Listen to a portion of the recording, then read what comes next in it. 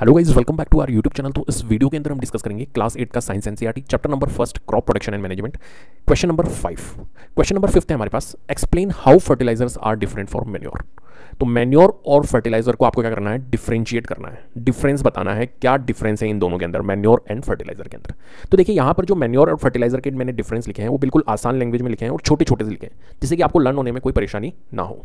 Clear है? तो manure को देखते हैं. मेन्योर मीन्स क्या होता है? हिंदी में मेन्योर को बोलते हैं खाद. फर्टिलाइज़र का हिंदी मीन्स होता है उर्वरक। फर्टिलाइज़र मीन्स उर्वरक।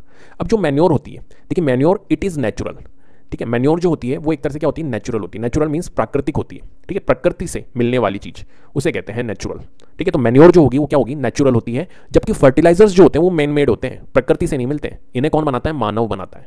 ठीक है, आदमी बनाता है इन्हें। तो ये मेन मेड है।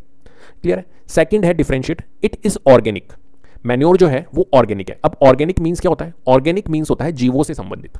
क्या होता है? जीवों से संबंधित। जीवों से संबंधित मीन्स जो मैन्योर निकल मैन्योर बनती है, वो एक तरह से ऑर्गेनिक है। ऑर्गेनिक क्यों है? क्योंकि ये जीवों से संबंधित है। जैसे गाय, भैंस है, इनसे ही तो हमारी क्या बनती है? मैन्योर ठीक है? जो इनका एनिमल एक्सक्रेटा होता है, उनसे ही हमारी क्या बनती है? मैन्योर बनती है। ठीक है? तो जीवों से संबंधित है। और जो फर्टिलाइज़र है, ये इनऑर्गेनिक है। ठीक है? इसमें जीवों से संबंधित नहीं है, ये तो इनऑर्गेनिक है। ये तो केमिकल से बनते हैं हमारे।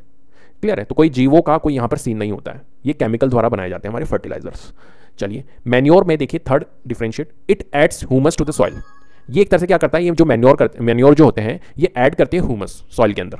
ह्यूमस मीन्स क्या होता है? ह्यूमस मीन्स होता है जो सड़े पत्ते होते हैं ना, उनसे बनने वाली खाद, सड़े पत्ते जो होते हैं, सड़े पत्ते, पत्तियाँ, है ना, फूल, वूल, इनसे बनने वाली खाद। तो ये ऐड हो जाती है सॉइल के अंदर। उसे कहते हैं ह्यूमस और it does not add humus ये फर्टिलाइज़र जो होते हैं, ये ह्यूमस को ऐड नहीं करती है।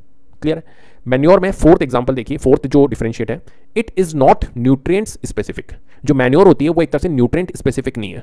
जबकि फर्टिलाइजर्स जो होते हैं, वो न्यूट्रिएंट स्पेसिफिक होते हैं। क्या होते हैं? न्यूट्रेंट स्पेसिफिक होते हैं। न्यूट्रिएंट्स मीन्स पोषक तत्व। पोषक तत्व से संबंधित जो स्पेसिफिक होते हैं, ये मैन्योर नहीं होते, जबकि फर्टिलाइजर्स होते हैं। मैन्योर जो होते हैं, वो चीप होते हैं। कॉस्टली नहीं होते ज़्यादा। महँगे नहीं होते, सस्ते होते हैं। इट इज़ चीप फर्टिलाइजर्स जो होते हैं, वो कॉस्टली होते हैं, महँगे होते हैं। तो इट इज़ कॉस्टली क्योंकि मेन मेड है।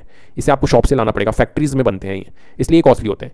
जबकि ये नेचुरल होते हैं, इसलिए सस्ते होते हैं चीप होते हैं। क्लियर मैन्योर जो है, वो एक तरह से फ़ील्ड में प्रिपेयर्ड होते हैं। कहाँ पर बनते हैं ये? Prepared in the field field means खेत, कोई बड़ी से खाली जगह। वहाँ पर बनाए जाते हैं ये मैन्योर जबकि फर्टिलाइजर्स जो होते हैं, वो कहाँ पर बनते हैं? हमारे फैक्ट्रीज के अंदर बनते हैं। ठीक है? क्योंकि केमिकल से बनते हैं तो फैक्ट्रीज के अंदर बनते हैं। तो it is prepared in the factory clear है? तो बिल्कुल आसान तरीके से मैंने समझाने की कोशिश करी है इनको। तो अगर वीडियो आपको पसंद आई तो प्लीज़ लाइक कीजिए शेयर कीजिए और चैनल को सब्सक्राइब कर लीजिएगा। बेल आइकन को ज़रूर प्रेस कर लीजिएगा, जिससे कि अपकमिंग वीडियोस के नोटिफिकेशन आपको टाइम टू टाइम मिलते रहे। Thank you so much